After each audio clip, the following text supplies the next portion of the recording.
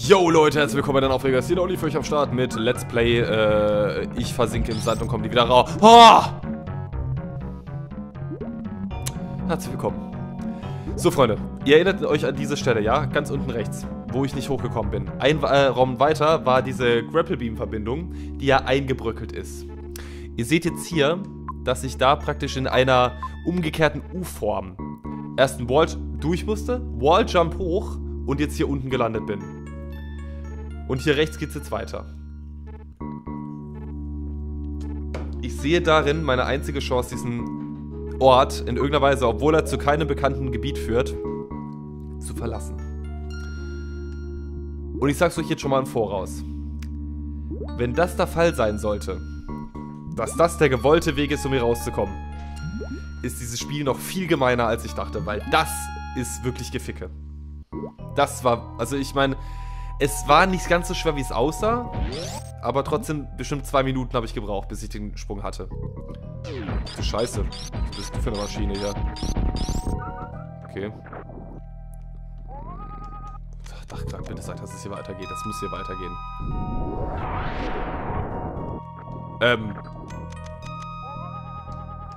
The fuck? Ist das denn jetzt bitte wieder? Das hätte die Superbombe mitsprengen müssen. Wenn es gehen würde. Warte mal. Kann ich sprinten? Außer hier reinzufallen. Das wäre nicht so geil. Ja. Die letzten zwei Blöcke. Also ungefähr hier, genau.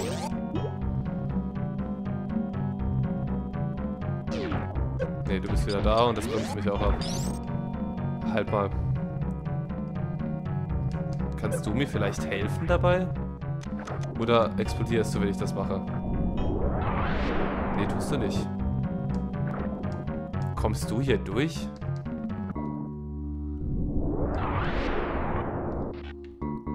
Kommst du hier durch? Bist du so eine Grabemaschine?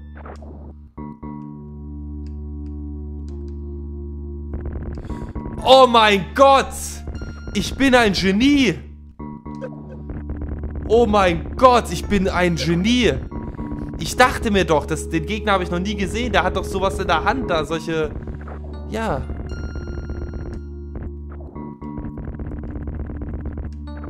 Arg. Richtig arg. Aber ich dachte mir so, dass, äh, es, es gibt bis jetzt nichts, wo ich dachte... Nee, äh, äh, ich, ich, irgendwas anderes muss dieses Ding außer, äh, äh, ähm, muss dieses äh, Ding, ähm, ja, also muss diese massive Wandmauer ja durchdringen können. Und, ähm, Alter. Okay, ich bin durch, Freunde. Und die Powerbombe hat ihn nicht äh, bekämpft. Dann war ich mir eigentlich relativ sicher, dass er was machen muss. So, was ist jetzt hier? Bevor ich jetzt hier irgendwo wieder reinfalle. Gibt es hier irgendwas außer dem Weg nach unten? Weil ich glaube nicht, dass ich hier wieder hochkomme. Okay, wir wagen es.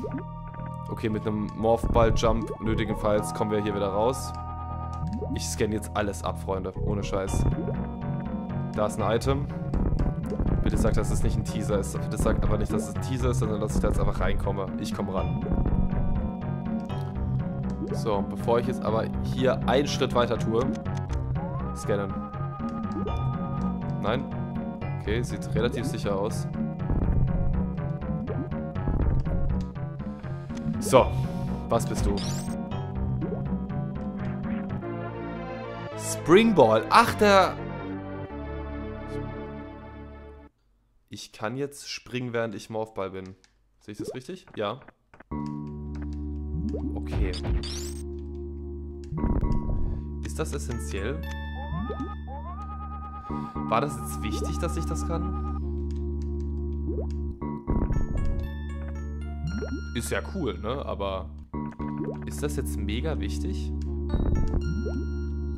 Frage ich mich gerade. Jetzt kann ich mich praktisch nur noch als Morphball weiter, auch als, nur als Morphball weiter bewegen, wär's doch, oder? Metroid Morphball. Also das war arschig versteckt. Okay, es war nicht der offizielle Weg nach draußen.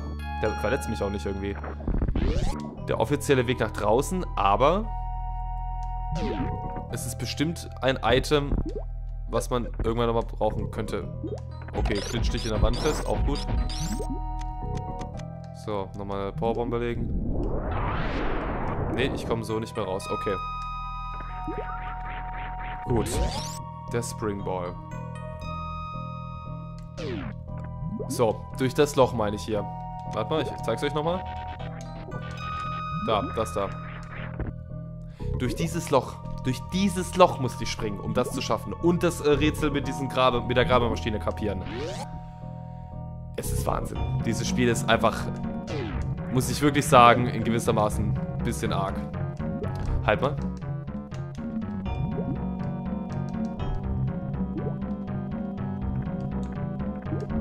Kann ich damit irgendwas machen? Das wäre jetzt krass, wenn ich damit den Wasserfall hochkomme oder so.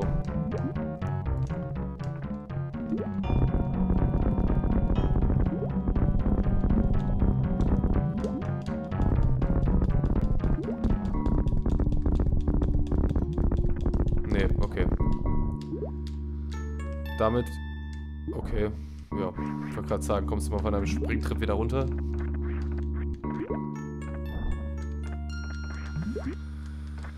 Ich hasse Meridia. Freunde, ich muss es wirklich sagen, ich hasse Meridia. Oh, ist das eine Scheißgegend. Jetzt stecke ich hier wieder fest. Ich könnte kotzen, ey. Komm raus. Bitte. So. Jetzt keinen Fehler machen. Okay, kann man hier irgendwie wieder raus, ohne dass mir das passiert? Da muss ich von weiter rechts abspringen. Wahrscheinlich.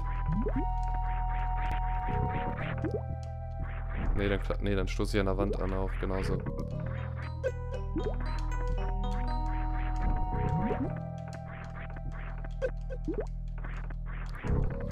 Am besten sterbe ich jetzt einfach, Freunde. Am besten sterbe ich jetzt einfach hier. Dann kann ich mir Springfield auch nochmal holen.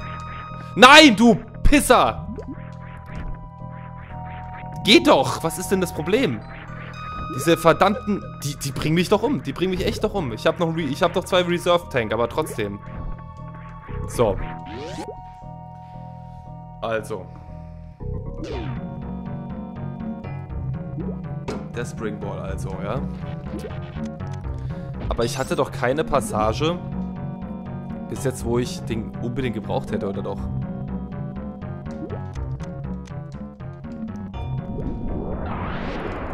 Mal schauen. Ja, ich habe jetzt den Springball. I think that's probably a good thing. Hmm. So, da ist definitiv nichts, ja? Wir gucken jetzt nochmal nach. Nein, kein Weg führt dahin.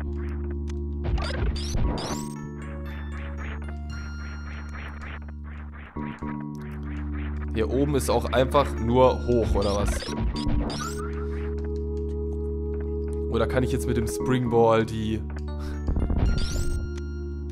die Tore öffnen? Klopft da praktisch mit dem Aufball zwei, dreimal an und dann sagen sie, hallo, das geht, komm rein.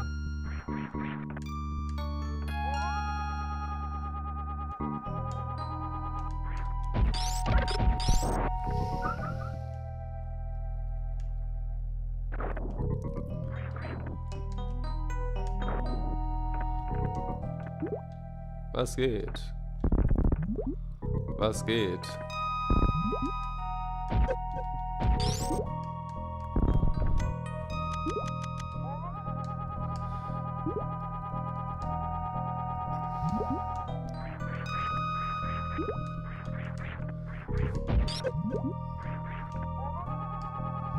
Ich bin bald schon tot, oh yeah.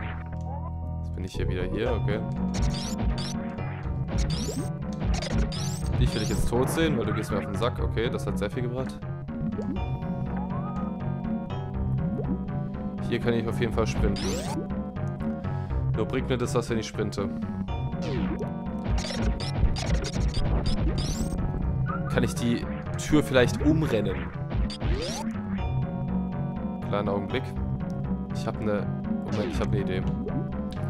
Ich weiß nicht, ob es eine gute Idee ist, aber es ist eine Idee.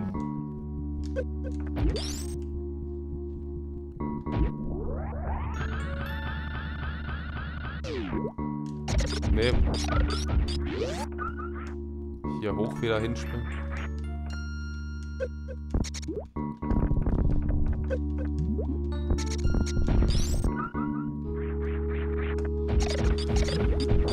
Freunde, ich weiß es nicht.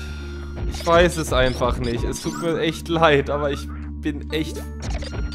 Bin's leid. Ich weiß es nicht.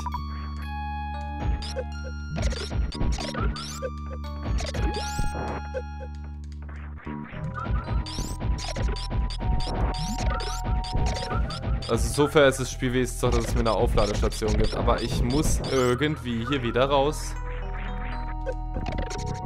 Bin ich irgendwie äh, dazu fähig? Warte mal.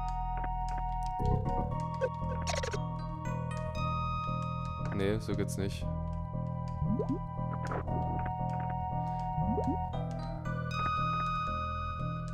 Nee, äh, man kann auch nicht wieder hoch. Weil, also, was bringt mir das denn? Bringt ja gar nichts.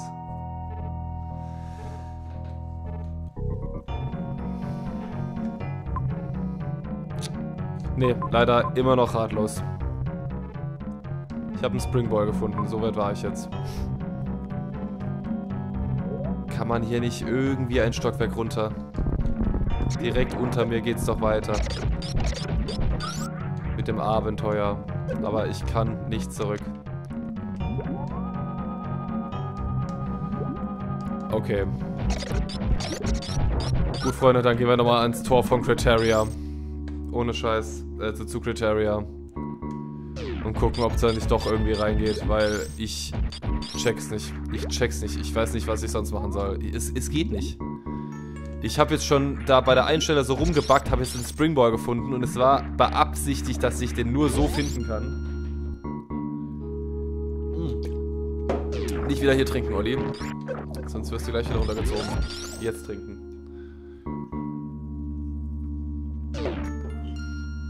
So, hier wieder Fladenhausen.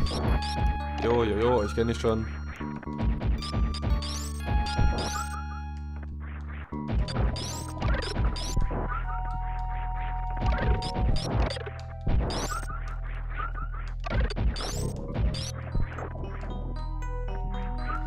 Komm, Energie. Brauche ich hart.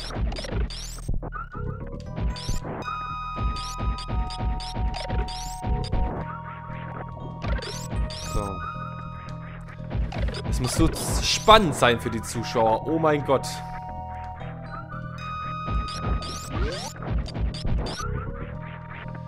So. Ich gucke jetzt nochmal nach Criteria rein, ob ich nicht doch irgendwie reinkomme. Ansonsten muss ich sagen, muss ich die Session an diesem Part beenden und euch um Rat fragen, liebe Zuschauer. Weil so kann ich das Spiel leider nicht weitermachen. Da sind mir die Hände gebunden. Ich komme nicht weiter. Und dann werde ich auch auf eure Antworten warten, bis, ich weitermache, weil, also das tut mir leid, sowas gebe ich mir nicht lang. Absolut kein Bock drauf.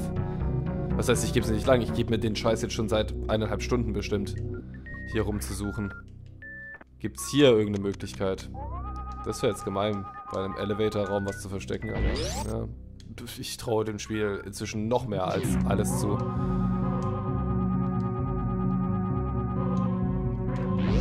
Hier gibt's nichts.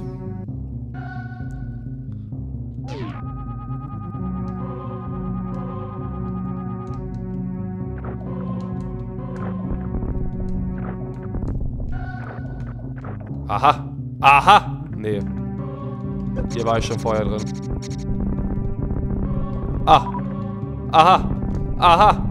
Aha. Aha. Was? Wie bitte? Was? Ist das deine Scheiß Ernst? Das war so gewollt? Nein. Nein. Nee. Freunde, bitte, bitte, bitte.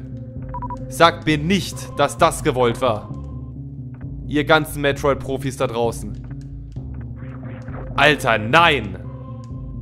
Nee, wirklich nicht. Nee. Nicht zu früh, Freund. Ich...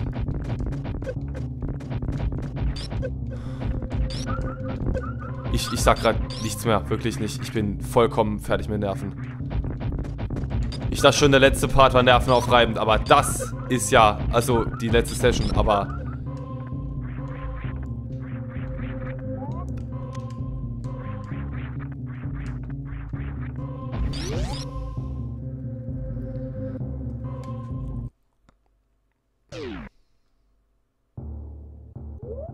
Ich glaube, ich bin wirklich wieder draußen. Ich glaube tatsächlich, dass ich wieder draußen bin.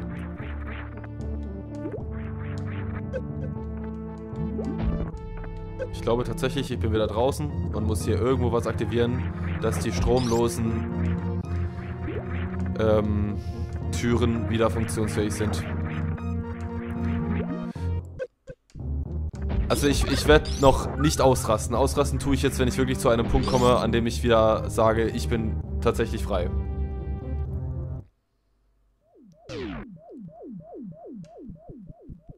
Hier war ich vorher nicht. Nee, tatsächlich war ich hier nicht.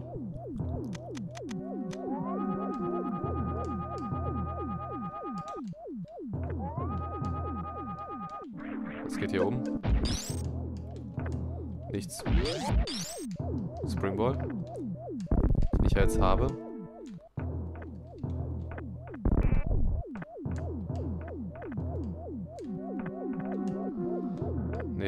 Bringt mir jetzt hier wenig. Warte mal nochmal.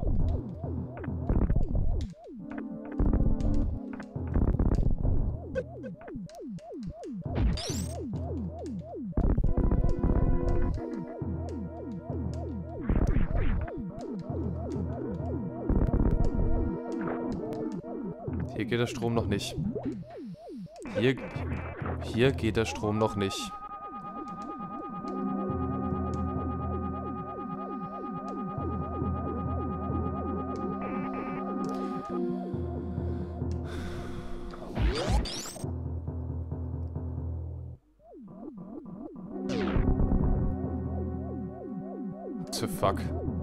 Todesfalle. Ich weiß, es geht galanter. Leckt mich alle. Ist mir egal.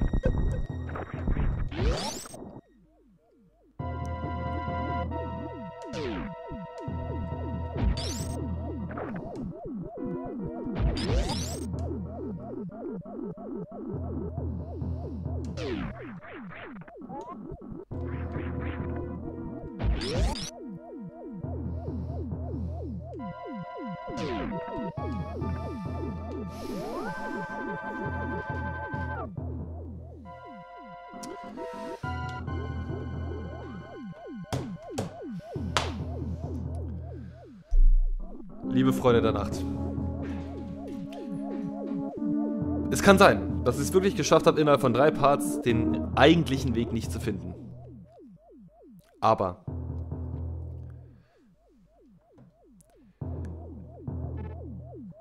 wenn das jetzt wirklich der Ernst vom Spiel war, dass es keine andere Möglichkeit gab, dieses, diesen Springball zu finden, dank dieses Springballs, diese Hürde, die wir gerade gesehen haben, zu überwinden, um hier im Wreck-Chip zu landen.